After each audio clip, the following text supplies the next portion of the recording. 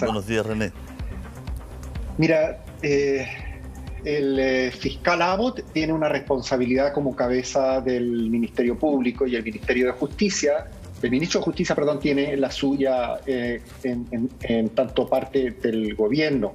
Son responsabilidades distintas. Y ha sido, y tú lo decías claramente, Montserrat, ha sido tremendamente doloroso ver que una expectativa que se generó en un minuto con, con una tremenda ilusión, yo partí esta investigación en el año 2010, cuando eh, se designa a Marcos Emilford como investigador en, esta de las 1.313 muertes a las cuales, cifra a las cuales llegamos en este mismo escritorio con, mi esposa después de, un tremendo despliegue de, búsqueda por eh, fuentes abiertas, fuentes cerradas, en fin.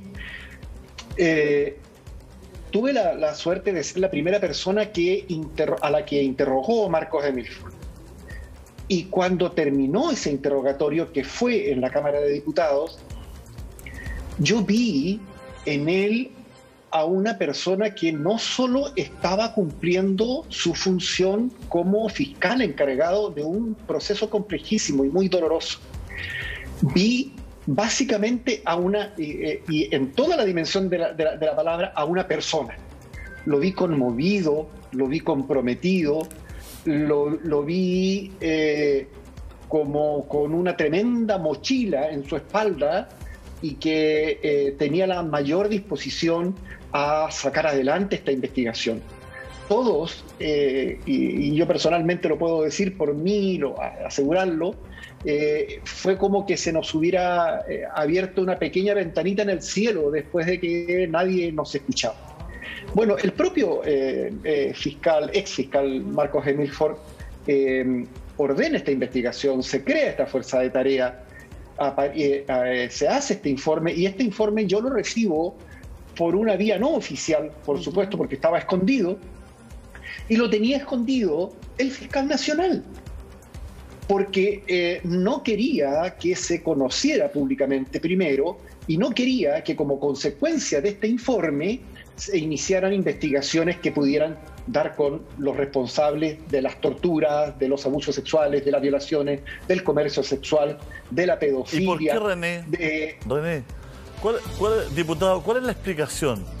Porque, ¿Por qué el fiscal nacional va a querer ocultar una información para no investigar? ¿Qué, ¿Cuál, es la impresión que tiene usted?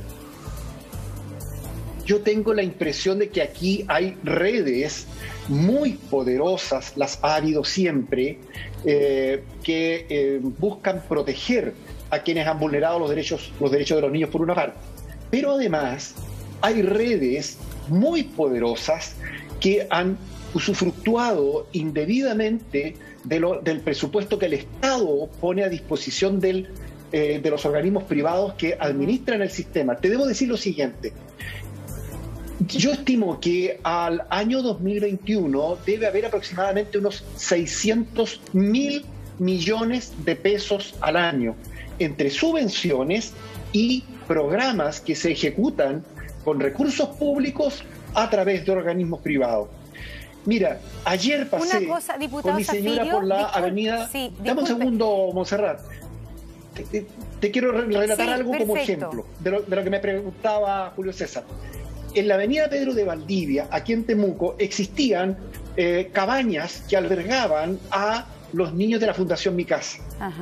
Hoy día tú pasas por esa propiedad, que es una propiedad valiosísima, era una propiedad valiosísima, gigantesca.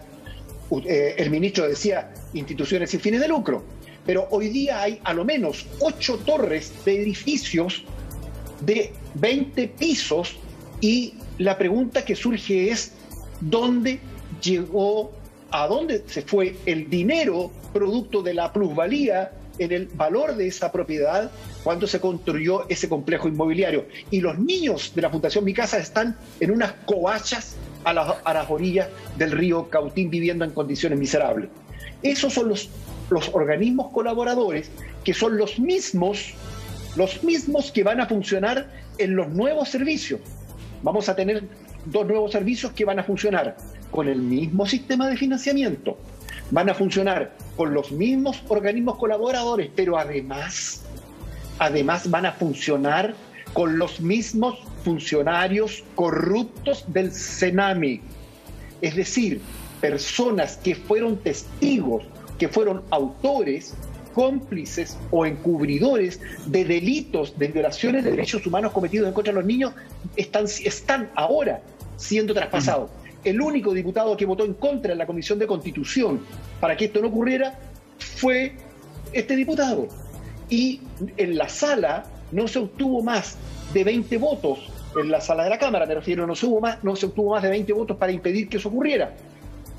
El gobierno optó por no ganarse un conflicto con los sindicatos y puso eso por sobre el interés de los niños. Entonces, tú me preguntas por qué, por qué hay dinero de por medio, por qué hay operadores políticos contratados con las platas, con las platas del Sename, porque hay delincuentes que han violado, que han usufructuado de los recursos del Sename, que han cometido todo tipo de aberraciones. No sé si tengo un minuto para relatarte un episodio que para mí es muy decidor. Cuando yo relaté, defendí en la Cámara el informe de la primera comisión investigadora, cuando terminé mi relato, que, en el que debo decir, los diputados quedaron atónitos y las diputadas quedaron atónitas, se aprobó por unanimidad, una persona que era diputada en esa época, que era diputado en esa época, se acercó a mi escaño y me dijo, René, mira, lo que tú has relatado en este informe no es más que el 10 o el 20% de lo que en realidad ocurría. Y lógico que mi reacción fue preguntarle, bueno, pero ¿tú qué sabes de esto? Y me dice, lo digo porque yo soy un niño que pasó toda su infancia en el Sename. Me lo dijo un diputado. ¿Te fijas? Entonces, no es que se esté especulando, no es que se esté inventando. Esto ha sido mentira tras mentira, falsedad tras falsedad. Todo responde a los intereses económicos y políticos de grupos que están perfectamente individualizados, que el ministro Larraín lo sabe, se lo he dicho a él, acusé constitucionalmente al, ministro de la Corte Suprema, don Héctor Carreño. No tuve los votos en la Cámara. Acusé constitucionalmente a la ministra Javiera Blanco. Blanco. Tampoco tuve los votos en la Cámara, porque siempre han primado los intereses políticos o económicos por sobre los intereses de los niños. Y no solo de respecto de este gobierno, respecto de toda la historia de la infancia en Chile, desde que somos una república y probablemente mucho antes. Eh, Esteban, todas las muy cortito, me gustaría agregar lo siguiente y el por qué podría ser una de las causas de, por qué se habría ocultado el informe en su momento, se habría frenado eh, el hecho de haberlo puesto en conocimiento público. La principal, una de las principales promesas de campaña del actual gobierno fue los niños primero, no más cename. Anunciaron con bombos y platillos que iban a, crear un nuevo sistema justo eh, en el momento en que se realiza este informe. El gobierno asume y para poder crear el nuevo sistema y eliminar al Sename, tenían que buscar la aprobación en el Congreso. Si es que se filtraba este informe, los diputados y senadores no iban a votar a favor de este proyecto, porque se iban a enterar que el 98% de los privados que administran el Sename ha violado grave y sistemáticamente los derechos humanos de los niños. Entonces, lo que necesitaba el gobierno era que el Congreso aprobara Mientras en paralelo se guardaba este informe, el Congreso aprueba sin conocer lo que, lo que estaba en este informe, lo filtra el diputado Zafirio, pero lamentablemente el, este nuevo sistema ya se había aprobado. Tan mal se aprobó que el Congreso, los honorables diputados y senadores, aprueban esto sin antes haber aprobado una ley de garantía de los derechos de los niños que es el que tiene que dar el marco legal regulatorio para que funcione el nuevo sistema. O sea, así de mal se hizo. ¿Van a haber cambios reales? Van a haber Lo dudo. Dejo la palabra al resto del país. Sí, no. Eh, yo creo que nos hacemos la misma pregunta, Esteban, que tú. Una, un plan que se llama Mejor Niñez. ¿No es de alguna manera una, una ironía?